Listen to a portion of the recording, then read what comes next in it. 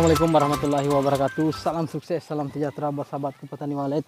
Semoga kita selalu dalam lindung Allah Subhanahu wa taala dan semoga kita selalu diberi kesehatan amin ya rabbal alamin. Alhamdulillah hari ini kita tiba di Kendari. Uh, tim selesaikan lagi pengerjaan RBW 8 kali 12 tiga lantai lokasinya di Kendari. Ini kalau tidak salah termasuk Kendari kota ya. Nah, di sini diberi kepercayaan untuk merehab. Bisa teman-teman lihat ukuran 8 kali 12 tiga lantai. Kurang lebih dua tahun song ya. Song sama sekali tidak ada sarang. Padahal sudah dua tahun dan informasi dari yang jaga katanya uh, tim Olit Bomban itu konsultan yang keempat ya. Jadi sudah empat kali ganti konsultan mudah-mudahan TWB yang terakhir. Jadi RB song ya walaupun direhab tapi RB nya song. Oke, uh, seperti apa tata ruang yang ada di dalam nanti kita cek sama-sama tata ruang RBW 8 kali 12 tiga lantai. Nah, sini ada Pak Dokter. Pak Dokter isi ambil video ya, boleh? Nah, ini Pak Dokter. Jadi di sini, sini Pak Dok bisa. Ah, sebentar ya. Wah, halo. Jadi Pak Dokter ini cuman kenal di lewat WA ya. Di Jadi YouTube. ya di YouTube. Jadi baru pertama kali ketemu sama Pak Dokter. Nah, di sini kita diberi kepercayaan untuk merehab 8 kali 12 tiga lantai Padahal lokasinya bagus sekali nih Pak Doko bisa song ini di dalam. Ah, itu dia. itu dia ya. Jadi uh, tadi saya berbincang juga katanya TWB ini konsultan yang keempat ya. Betul ya? yang ketiga. Ke kedua. Oh kedua. Oh yang kedua. Ya. Uh, saya kira yang keempat. Jadi uh, seperti apa tata ruangnya simak baik-baik ya. Jadi kita berbagi kepada teman-teman semua. Sini kita pakai SP terbaru dari TWB uh, ini bayangan yang viral ya. Uh, berapa bulan yang menginapkan ratusan ekor ya. Semoga rezekinya sama seperti binaan yang lain ya Pak. Ya. Pak Dok. Oke kita masuk ke dalam. 8 kali 12 tiga lantai. Oh ya alamatnya di mana ini Pak Dok? Ini Kendari Kota ya, ya oke Kendari Kota. Wah, tapi sebelum kita masuk tadi saya tertarik lihat kolam pemancingan di sebelah. Karena karena saya juga hobi dengan ikan ya. Jadi lihat seperti ini makin semangat lagi guys. Uh. oke kita masuk ke dalam. Jangan ditutup dulu ya. Oke Pak Dok saya masuk dulu Pak Dok ya. Saya jelaskan dulu sama teman-teman subscriber semua.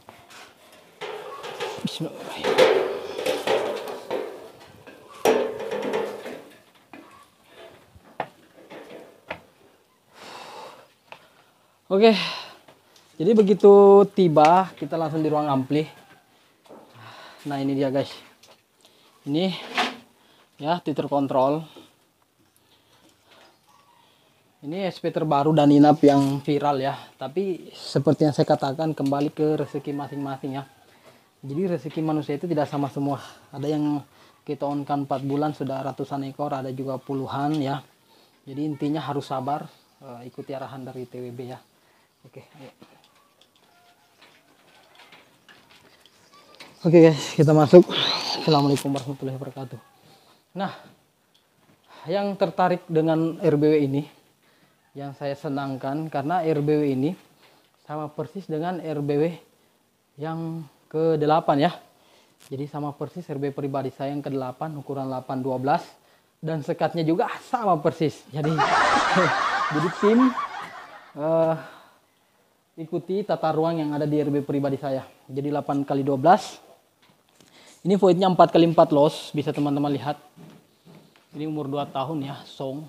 Padahal suhu dan kelembapan di lokasi ini sangat stabil, lokasinya juga bagus. Saya tidak tahu apa penyebabnya ya. Karena waktu perombakan, waktu di rehab semua saya tidak hadir. Jadi tim setelah pengerjaan baru saya datang. Uh, mungkin ada juga yang rindu uh, dengan video-video saya konten di Super Tinar Vlog. Sebelum direhab maunya uh, diperlihatkan dulu apa kekurangannya ya. Tapi karena berhubung uh, jadwal sangat padat, binaan sudah ratusan, jadi tidak ada waktu lagi untuk uh, membuat video ya. Jadi nanti cukup saya jelaskan apa-apa yang harus dilakukan apabila RB ingin sukses ya. Termasuk harus sabar. Nah itu kuncinya guys. Nah di sini tadi tiga suara ya. Bisa teman-teman lihat. Audax 5000 ya Audax 5000 SP terbaru dari kita Timolit Bembana. Terus di sini ada Audax 65 yang bening-bening. Dan kita padukan dengan Audax 65W anti air varian warna merah bening.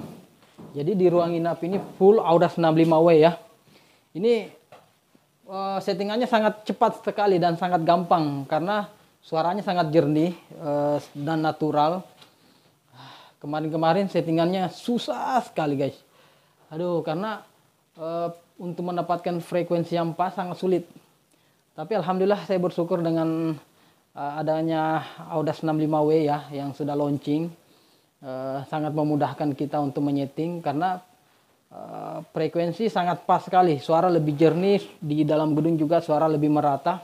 Ini Audas 65W saya setting ini cuma berapa menit saja tidak sampai 10 menit ya luar biasa. Terima kasih buat Audax telah meluncurkan varian terbaru uh, versi terbaru Audax 65W anti air memang meledak.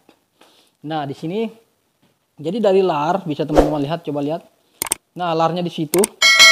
Nah, untuk larnya ini kalau tidak salah ukuran 1 meter 20 ya. Kali kali 1 meter untuk lantai dasar larnya ya. Memang lantai dasar itu agak besar agar mempermudah burung bermanuver. Terus di sini ada sekat lagi ini namanya sekat pintu ya. Jadi saya berdiri ini kurang lebih juga 1 meter 20 di sini. Ada tarik dalam. Jadi di belakang lar ini kita kasih formasi 3 2 3 saling berhadapan. Ya bisa teman-teman lihat.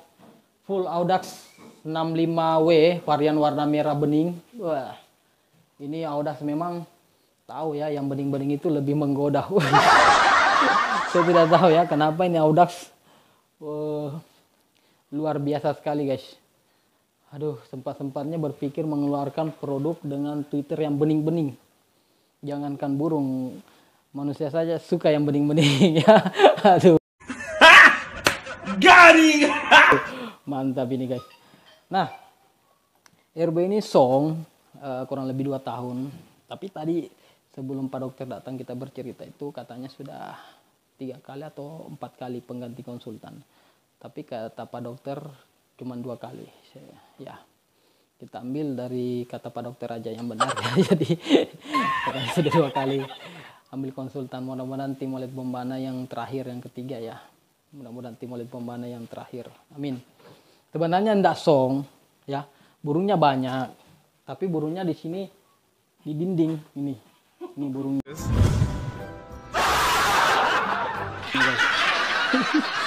burungnya ya.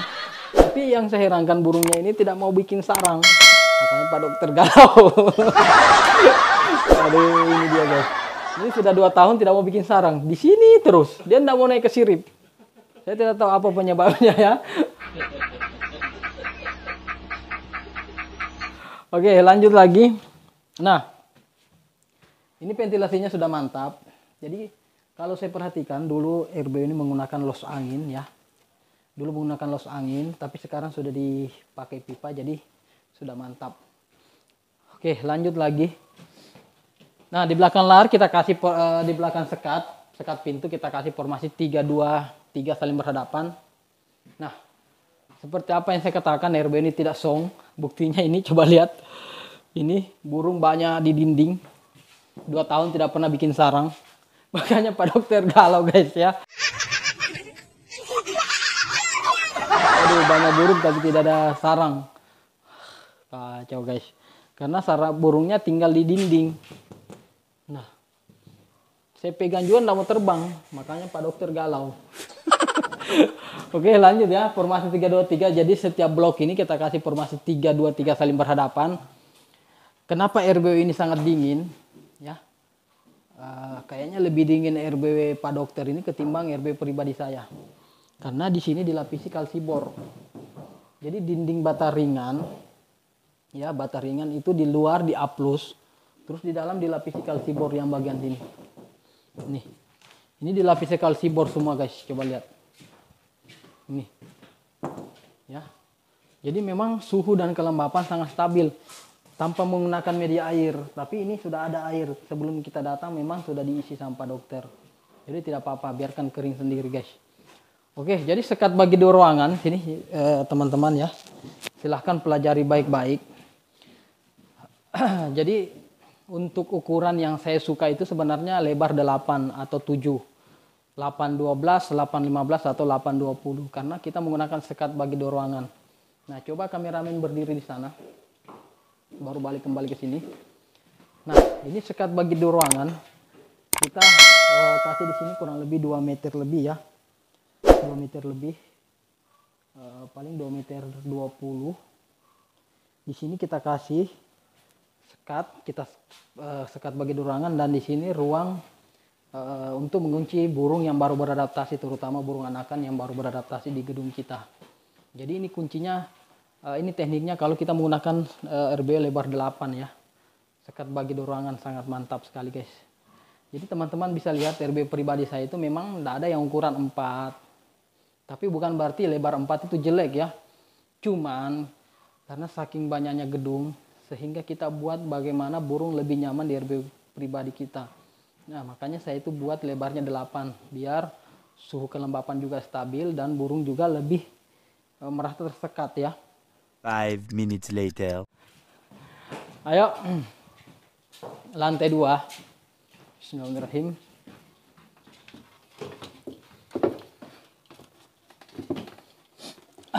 Bismillahirrahmanirrahim. Oke, lanjut lantai dua. Di sini juga song, song semua ya, semua lantai. Jadi bisa teman-teman lihat uh, larnya di sini ukuran uh, kalau tidak salah 90 kali 80 teknik tiga suara. SP terbaru dari TWB. SP ini insya Allah akan berkumandang di Sulsel jadi rencana besok tim sudah berangkat ke Sulsel ya, insya Allah semoga tidak ada halangan, semua dilancarkan, amin ya rabbal alamin. SOP terbaru sudah teruji ya, jadi beberapa hari ini uh, saya fokus untuk uh, membuat suara terbaik ya, biar nanti pada saat di Sulsel bisa meledak lagi guys.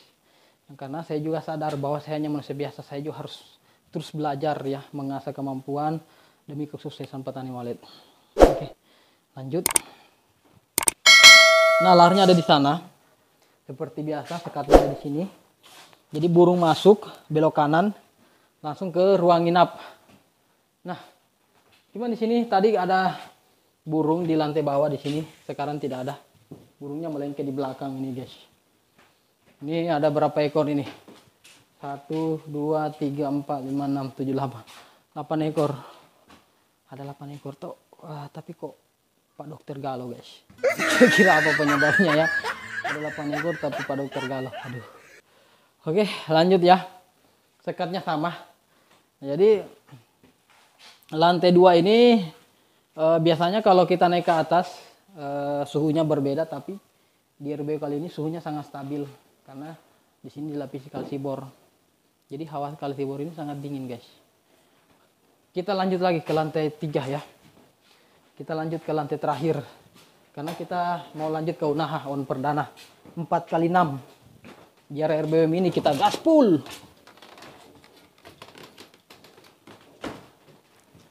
nah. Oh oke guys kita lantai tiga ternyata burungnya masih ada di void juga itu sana dia sebenarnya burungnya banyak guys dia menempel jadi 10 tahun juga 10 tahun di situ Oke. Jadi uh, apa sih yang membedakan lantai 1 2 3? Saya perhatikan ini biasanya lantai 3 itu agak rendah, tapi kali ini saya dapat lantainya agak lumayan tinggi, guys. Ini kalau tidak salah ini 2 meter lebih, hampir 3 meter ya. Kalau di bawah itu agak rendah. Kalau tidak salah 2 meter setengah. Kalau ini hampir 3 meter. ini mantap sekali, guys saya sangat tertarik dengan tinggi perlantainya di lantai atas sebenarnya kalau mau bagus lantai lantai bawah dengan lantai atas itu memang harus tingginya seperti ini tapi kalau idealnya kalau dibilang ideal itu 2 meter setengah sudah mantap sekali oke. Di sini ada sekat. Sekat pintu. Formasi sama ya formasi 323 saling berhadapan. Kita pakai full audax 65 Cuma settingan 10 menit ya, tidak sampai 10 menit. sudah kita dapat settingannya karena memang Twitter ini suaranya sangat jernih sekali. Dan frekuensinya sangat pas. Saya yakin eh, petani walet yang pemula atau konsultan yang baru terjun ke dunia walet saya yakin sangat gampang sekali setting volume eh, untuk menggunakan Audas 65 ya terutama ruang inap. Insya Allah pasti akan dapat settingannya. Beda kalau yang lain-lain kemarin tuh bahkan uh, sampai berjam-jam saya di dalam ruang inap susah sekali guys. Sit, apa frekuensinya lari-lari. Ya, bukan lari-lari ke kanan, ke kiri bukan ya. Tapi frekuensinya sangat sulit kita dapatkan. Jadi uh, kita setting tadi ini sangat cepat ya. Karena kita mau bergeser lagi. Oke, ayo. Nah, di sini kita kasih formasi sama 3-2-3 saling berhadapan. Di sini juga 3-2-3 saling berhadapan. Jadi tarik dalam itu ada dua, satu di belakang sana, coba di uh, sekat pintu satu. Nah, itu ada satu tarik dalam, terus di sini lagi satu. Kita kasih full semua ya, Audas 65W. Ini mantap sekali guys. Saya yakin insya Allah ya, asalkan rezeki, asalkan pemilik gedung mau sabar, tidak kecak, ya kalau pemilik, subur, eh, pemilik gedung sabar tidak kecak, insya Allah RB ini akan sukses karena suhu sangat stabil, kelembapan juga, terus lokasi juga sama, sangat mendukung. Insya Allah ya. Intinya saya hanya manusia biasa, hanya bisa berusaha berikan yang terbaik, rezeki Allah menentukan, dan terutama pemilik gedung jangan kecak, ya. Jangan mengeluh terus, sabar ya. Karena ada juga binaan baru satu bulan diumumkan mengeluh mau buka LMB ini, LMB itu, aduh. Itu rata-rata pemilik gedung yang seperti itu saya akan lepas ya. Saya tidak bisa bina apabila pemilik gedung tidak sabaran. Kita sudah kasih solusi, kita bantu rehab, bukakan LMB arah yang benar, dia mau buka LMB lain. Aduh, kacau guys. Jadi, eh, maaf, maaf ya, tarik dalam ada tiga, di sini ada satu di dalam, saya lupa. Nih. Jadi satu di sini, pas bagi dua uh, sekat ya terus di sini satu jadi sudah dua dan di sini satu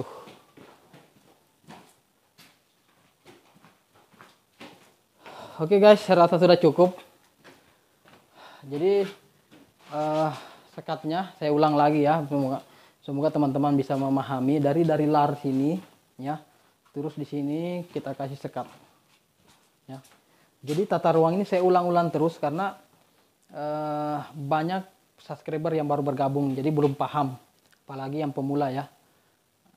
Oke, coba semoga bermanfaat buat teman-teman semua. Jangan lupa like, comment, subscribe, share video saya sebanyak mungkin agar teman-teman mendapatkan berkahan sukses dunia akhirat. Yang intinya eh, teman-teman perlu ketahui saya hanya manusia biasa, tidak pernah menjanjikan kesuksesan, saya hanya serahkan sama Allah Subhanahu wa taala. Ya. Oke. Salam sukses. Assalamualaikum warahmatullahi wabarakatuh. Kita on perdana. Kendari meledak bersama Audax.